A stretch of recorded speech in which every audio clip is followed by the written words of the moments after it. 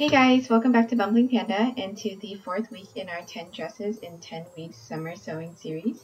Today we're going to be making this sleeveless lace gathered waistline dress. So let's get started.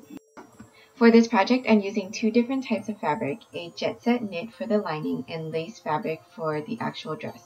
I'm going to be using one and a half yards of each fabric, but it really depends on how tall you are. Um, so starting out with the lining fabric, I'm cutting out a basic tank top shape and I'm cutting out two pieces, one for the front and one for the back. I folded it in half and evened out any rough edges.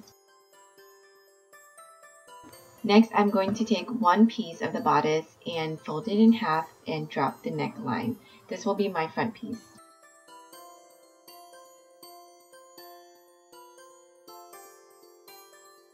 With the lining fabric that I just cut out as a guide, I'm going to cut out the exact same pieces in the lace fabric. You have to do this with both the front and back pieces, of course.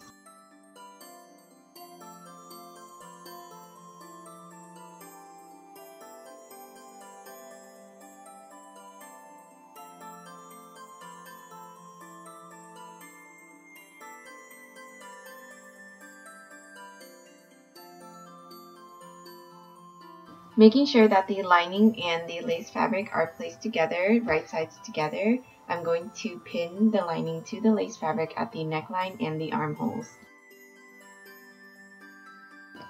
Next, I'm going to sew the lining to the lace fabric at the neckline and the armholes. Of course, I do this to both the front and back piece of the bodice. So next, I'm going to cut out the exact shape in lace fabric of the back piece using the lining as a guide.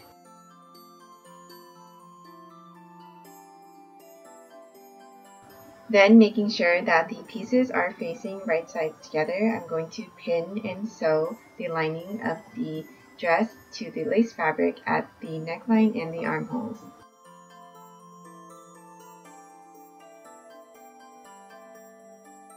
After that, I trimmed off any excess seam allowance and I'm going to take one piece of the bodice and flip it right side out.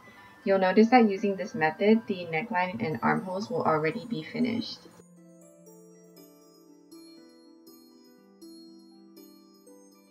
I'm going to flip the other piece right side out as well and then place the two pieces right sides facing and pin and sew the shoulders and side seams.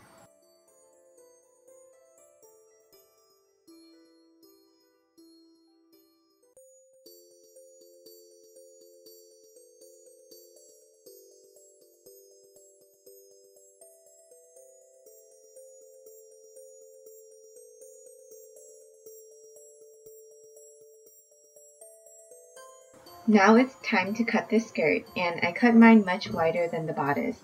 It depends on how much you want your skirt to be gathered or flared. For the lace part of my skirt, I cut it 3 inches wider and 3 inches longer than the lining so that the lining doesn't show and so that the lace part will be slightly more flared.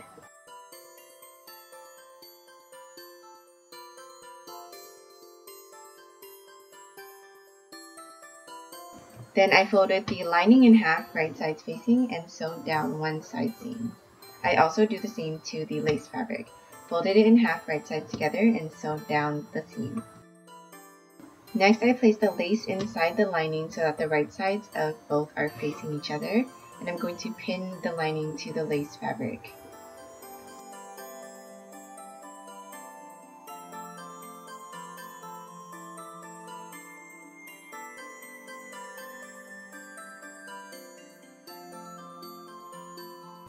Since my lace is a little bit wider than the lining, I'm going to have to stretch the lining a little bit as I sew the two pieces together.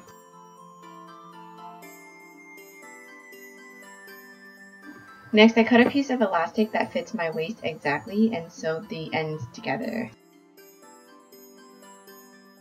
Next, I pinned the elastic to the waistline of the skirt, trying to even it out as much as possible.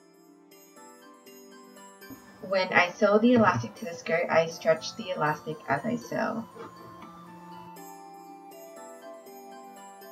Then I flip the skirt inside out and insert the bodice into the skirt so that the right sides are facing.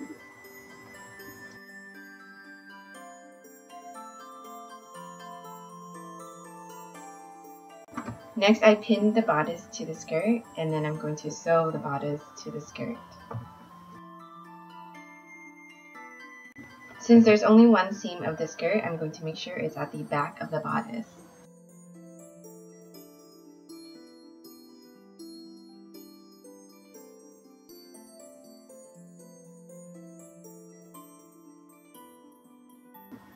The last step is to hem the bottom, but since I cut the skirt on the selvage of the fabric, I didn't have to do that.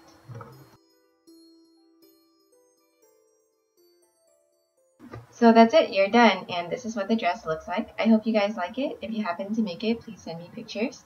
I will see you next Tuesday for the next dress tutorial. Please don't forget to visit my blog, bumblingpanda.com. See you guys next time. Bye!